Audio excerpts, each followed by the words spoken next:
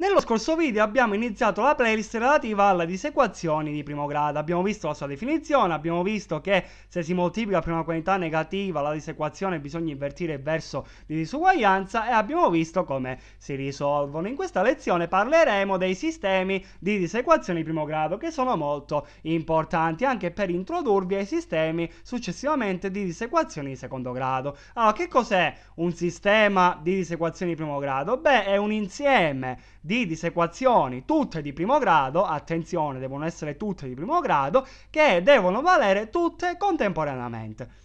Allora, come si indica il sistema? Si indica con una parentesi eh, graffa.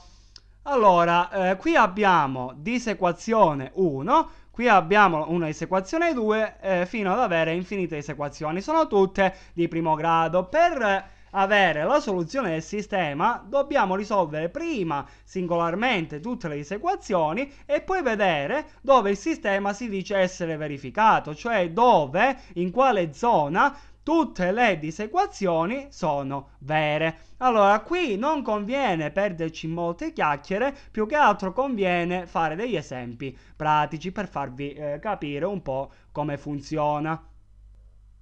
Supponiamo di avere il seguente sistema di disequazioni. Allora, sistema, abbiamo x più 2 maggiore o uguale di 5, poi abbiamo x più 1 minore di 0.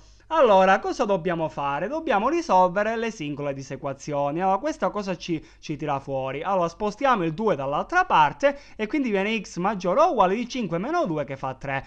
Questo invece basta spostare 1 dall'altra parte e abbiamo risolto x eh, minore di meno 1. Adesso cosa dobbiamo fare? Dobbiamo mettere a confronto queste due eh, soluzioni. Abbiamo meno 1 qui e 3 qui. Allora abbassiamo queste linee. Allora prima disequazione dove è verificata? Per x maggiore o uguale di 3. Quindi x maggiore o uguale di 3. Mentre qui x minore di eh, meno 1.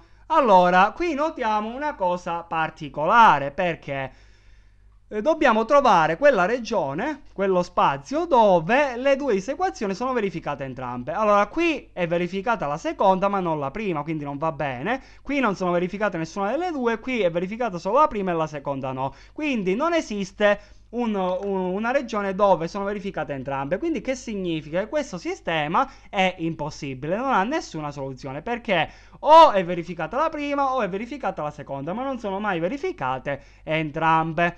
Allora andiamo a vedere un altro esempio.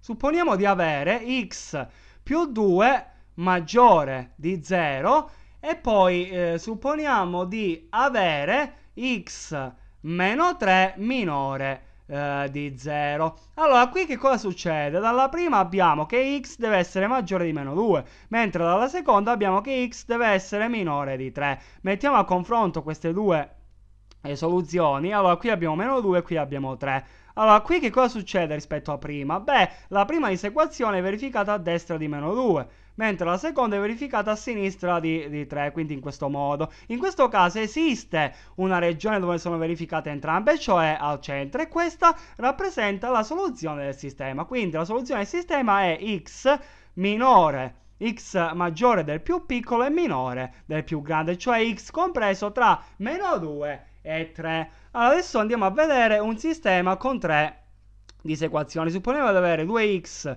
più 2 maggiore o uguale di x meno 1. Poi supponiamo di avere x più 2 maggiore o uguale di 1 e poi abbiamo x meno 3 minore di 0. Allora dalla prima cosa ricaviamo? Beh, eh, x lo spostiamo dall'altra parte e diventa 2x meno x che fa x maggiore o uguale di eh, 2 lo spostiamo dall'altra parte diventa meno 2, meno 2 meno 1 fa meno 3. Allora, poi qui che cosa abbiamo? x maggiore o uguale di che cosa? Meno 2 più 1, cioè meno 1, e poi qui abbiamo x eh, minore di 3.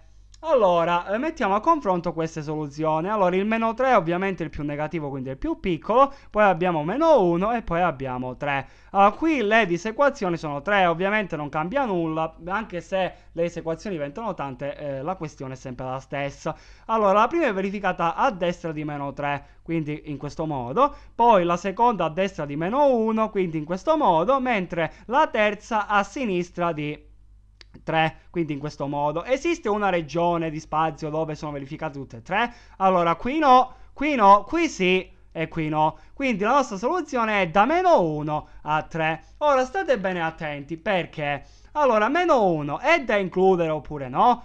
Allora, per eh, verificare eh, perché ovviamente, vedete, qui c'è il segno di uguale. Allora, mi sono dimenticato di eh, disegnarlo, ma qui il meno 3 è incluso e qui è incluso il meno 1. Ora, visto che dobbiamo andare da meno 1 a 3, la domanda legittima è, il meno 1 è incluso? Allora, dobbiamo verificare, dobbiamo controllare. Allora, nella seconda ovviamente è incluso, perché deriva proprio da qui la sua inclusione. Poi... Eh, nella prima esequazione il meno 1 è incluso, allora dal disegno si vede proprio che è incluso. Però andiamo a fare una verifica, prendiamo la prima esequazione e gli sostituiamo il meno 1 per vedere se eh, ci dà una cosa valida. Meno 1, lo sostituiamo qui, meno 1 maggiore o uguale di meno 3. Ovviamente sì perché è meno negativo, quindi è più grande. Vediamo all'ultima esequazione, anche qui si vede che è incluso, vedete al disegno, il meno 1 qui eh, c'è, però prendete il meno 1 e lo sostituite qui. Allora, meno 1, meno, 4, meno 3 fa meno 4, meno 4 è più piccolo di 0, sì, e quindi va bene. Quindi che significa? Che